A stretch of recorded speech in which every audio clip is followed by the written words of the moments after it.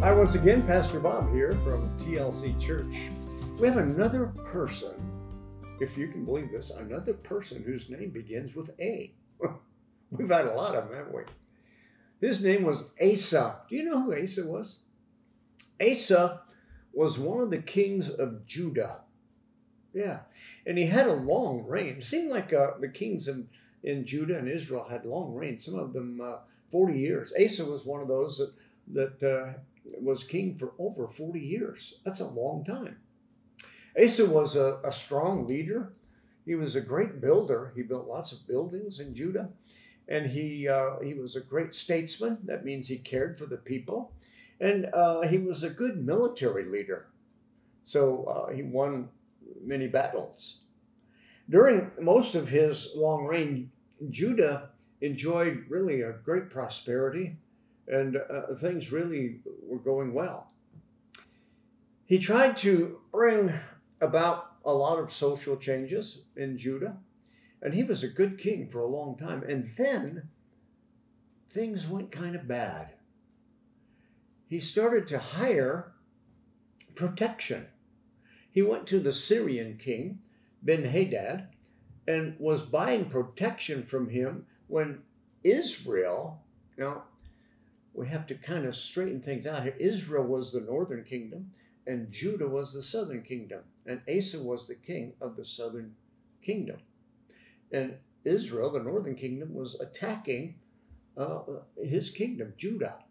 So instead of depending upon God to protect him, he, he, he bought protection from Syria, from, from Ben Hadad.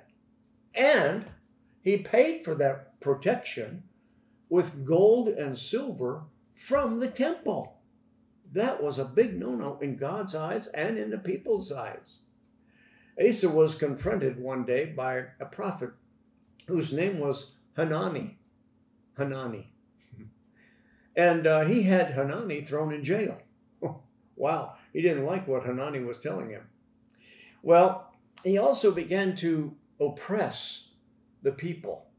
You know, he would charge taxes and he would uh, throw many of them in jail and he would, he, he just started to oppressing his own people. He finally, God has such a, a, a way of bringing justice to people, something that I would have never thought of. Asa got a foot disease, a foot disease. And instead of turning to God again and asking God to heal him, he went to the doctors in his in, Judah and and maybe in other countries. I don't know, but anyway, he went to several doctors, and of course they didn't do anything for him. They probably some of them may have been witch doctors. Who knows that kind of thing. But anyway, he suffered with this disease for two years. Then he finally died. Hmm. He was buried in Jerusalem. You know, it's a sad thing when kings and other people, as they get older, turn away from God.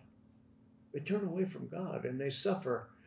They suffer such great loss when they do that.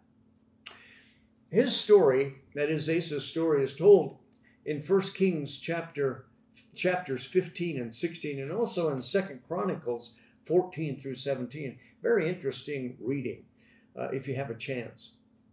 But it's mo- most important for us to remain true to God all through our lives. As we get older, we need to depend more upon Him and, and let other people know that we that we serve a God who whom we have trusted all of our lives.